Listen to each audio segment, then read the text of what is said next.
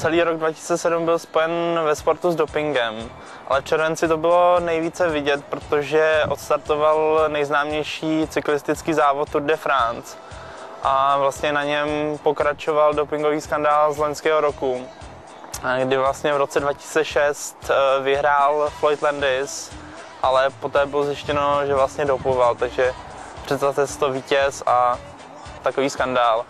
No a pořadatelé se tomu nevyhnuli ani v tomto roce, protože eh, jeden z favoritů, kazašský eh, závodník Aleksandr Vinokurov, měl pozitivní test na krevní doping a jeho stáj Astana proto odstoupila ze závodu a následně jezdce svého vlastně vyloučila. Také eh, méně známý eh, německý jezdec, eh, u něhož byly nalezeny nedovolené látky a vlastně kvůli tomu přestali Tour de France vysílat německé televize ARD a CDF, což byl v Německu velký poprásk.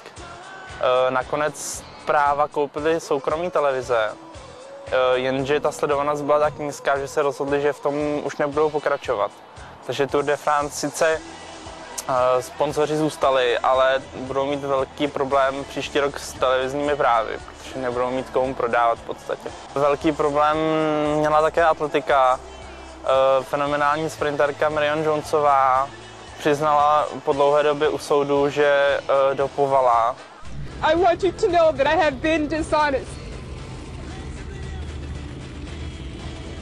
And you have the right to be angry with me byl velký skandál kolem eh, laboratoře Balko a vlastně ona přiznala, že eh, byla do toho také zapojená a mm, nakonec se rozhodla atletická federace, že vymaže veškeré její eh, sportovní výkony, její medaile jí vezme a také americkým štafetám. V případě vůbec výskytu dopingových afér hraje velkou roli náhoda to je třeba s tím počítat. Takže nelze říct, že je, že je nějaká souvislost s tím, že roste počet nebo neroste počet. Ono se to osciluje kolem nějakého průměru. Sportovec až na úplné výjimky to v tom nikdy nejede sám.